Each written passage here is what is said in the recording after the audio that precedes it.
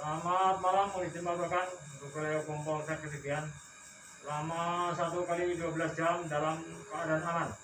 Buat personil empat lengkap, tahanan hil, pihak masyarakat, bencana alam, terpantau hil, 815-nya mendung. Demikian yang bisa dilaporkan dari